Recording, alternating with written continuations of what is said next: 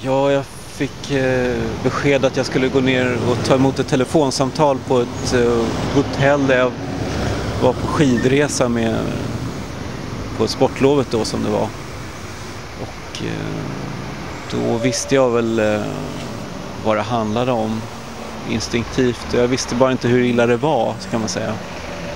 Men du kände på dig att det var något som hade eh, hänt honom? Ja, det, hade, det var jag nästan säker på. Eller det var ju just för att man hade den här eh, beredskapen för att något skulle hända på något sätt. Eller? Gick du, gick du under flera år i någon sorts ständig eh, beredskap, under ett ständigt hot tycker du?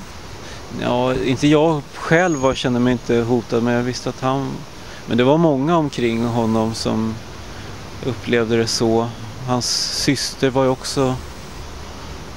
Eh, ja, berättade för mig att hon, att hon ja, hade eh, samma instinktiva reaktion då. Och det är många, jag tror flera visste att vara hans son måste ju också ha haft sina mycket positiva sidor. Ja, absolut.